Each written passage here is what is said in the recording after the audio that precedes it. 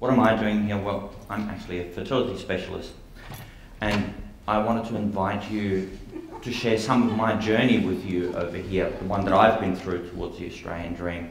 When I started in reproductive medicine about 20 years ago, it was all about uh, pregnancy and achieving conception. And it was really only much more recently that I've actually become aware that what the people who were coming to see me and the couples who were coming to see me were not so much after a baby, but it was about achieving their dream of a family.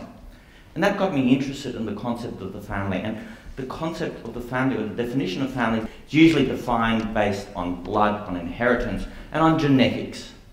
And this is the sort of concept of the typical family that's uh, propagated.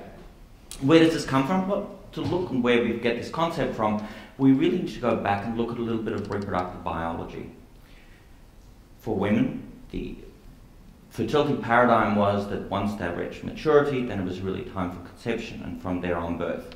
Women were designed to have their first periods in their late teens and then really to be pregnant or breastfeeding most of their lives until the end of their reproductive time, which was usually in the late 30s. This is the fertility paradigm that we as humans have in fact been brought up with. The concept of having a monthly period is really a very modern one and is not what humans were designed to do. As part of this, I'm going to take you through to Queen Victoria over here. This is her, a very famous portrait of her standing there with her descendants. Queen Victoria, this, this pedigree here, is interesting for a number of reasons. Firstly is Queen Victoria was in fact the index case for a particular type of mutation called haemophilia, and she spread this disorder through as the uh, Windsor family um, was married out throughout the European royal houses, um, spread this through a number of dynasties, in fact, arguably was responsible for the downfall of the Romanov Empire.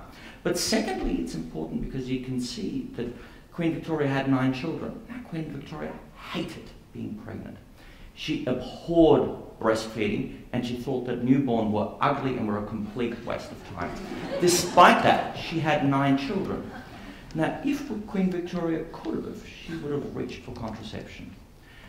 The oral contraceptive pill was released to the market in 1960 and it was a revolution. For the very first time, women took control of their sexuality and there was a dissociation between sexuality and reproduction. And this led to fundamental changes. In the 60s, toward the end of the 60s and early 70s, the average the average, um, uh, the average age of a woman having her first child was just under the age of 25. By 2007, in fact, this has risen to 31. You can see the age, the average age of a male parallels that of a woman by about two years. That's because we do what women tell us to do. Um, when women have finished with contraception, then the concept is here that we really want to go to contraception, and preferably this is a fertility switch. And if it doesn't quite happen, then we resort to assisted conception as soon as possible. But sometimes this switch doesn't flick. And there are various reasons for that. I want to take you through my own, I'm, I'm, a child of the 60s, I'm going to take you through what's happened to population growth over the last 40 years. You will see over here that most children in society are born to women in their early 20s, uh, in the 60s, and then a smaller amount to the 30s, but you see that the number of children born to older women drops off quite significantly. There's a significant drop in fertility in the mid 30s, and then it slows down to a trickle really in their 40s, and in the late 40s it really stops. As we go through the decades, you see that there's a shift. Now, mothers are becoming older. We see more women having children in their 30s, but overall, notice that in fact, the size of families or the number of children that people have is reducing quite significantly over the last four decades. But the shift is still there. We still see a drop in fertility at, starting at the age of 30, with a significant drop at the age of 35, and a massive drop at the age of 40. When I show this to people in sort of educational fora, I get, well, so what? You know, if need be, I'll access IVF. This is where the problem arises we have exactly the same problems when people go to assisted reproduction. When people access IVF, we can reliably achieve a pregnancy rate of over 50% in the 20 to under 30 year old age group. At the age of 35, this pregnancy rate drops down to uh, just under 40%. When you're 40, this pregnancy rate may be about 15%. when you're 42, the chance of conceiving comes about 1 to 2 uh, in 100, and over the age of 45, it's really no longer possible, even with assisted reproduction. Why does this happen? Well, from that point of view, you need to understand a little bit about female biology. And unlike women, men are the ultimate multitaskers. While I'm standing here, I'm producing 200 sperm every single second. Mm-hmm. Women, on the other hand, only produce eggs once in their lifetime. The maximum egg count occurred when you were about seven months in your own mother's abdomen. By the time you were born, this had already dropped to less than half of that, and you only have 3 million eggs left. By the time women go through puberty, there are only about a million eggs left. And then over a course of their lifetime, that then reduces to a supply that is no longer usable by the time of menopause. So women only ever use, or potentially use, only about two to 300 eggs over the whole of their lifetime, what I produce in two seconds. now, we can assess this. We can assess to see how many eggs there are left in a, in a woman's lifetime by two very simple tests. There is a blood test available, and there is an ultrasound scan available that can be organised by your primary care provider or by your GP. These are easily accessible. You can walk down the corner and everyone get this. And this is our first action point. I think we need to promote the idea that fertility is not unlimited and that fertility unfortunately has an expiry date. And should you decide that you want to delay childbearing for whatever reasons, and I'm going to talk about that a little bit more in a moment, that there are opportunities for making assessments. Now, should you, for example, have this test done and find that your reproductive capacity is significantly lower than would be expected for someone in your age group, then you do have some options over here. And I'm going to put all of these options under the banner of IVF because the term assisted reproduction is just a little bit too large. IVF allows for delayed reproduction, for example, for lifestyle or for professional choices. It allows younger women to delay, to delay childbearing until such time as they are ready. If I take the eggs from a 30 year old, her chance of conception, which is close to or just over 50% with IVF, will remain fixed regardless of when we put those eggs or embryos back, whether that's at the age of 40, 50, 60, or 70. Don't recommend the last two, but in fact, the chance of conception remains the same. Secondly, IVF allows us, and this is population that we're seeing more and more, allows people who are forced into uh, delaying their conception, it gives them some options. What we see most commonly are things such as uh, breast cancer, uh, disease of reproductive age women. The diagnosis of cancer is often a double edged sword. Not only is it the implication of what this diagnosis means for the woman herself, but also often the treatment actually puts an end to her reproductive capacity. So therefore, if we freeze eggs or we freeze embryos for people later on, it gives them the opportunity to conceive when it's right. The other thing that we're seeing more and more in our practices, we're seeing access by single women and by same-sex couples. And this really means that we've seen a significant shift in the composition of the Australian family. This graph demonstrates that, in fact, in Australia, um, the type of family that we were talking about before is significantly reducing.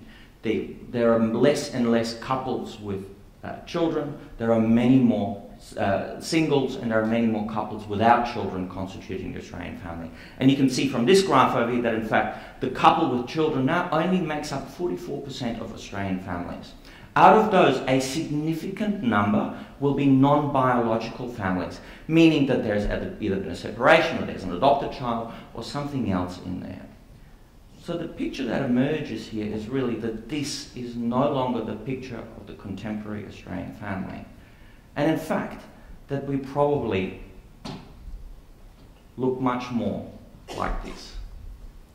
This is the image of the contemporary Australian family. And this, these images come from Mamas and Papas who are makers of uh, strollers and of prams. And obviously they've cottoned on to this fact because this is their market.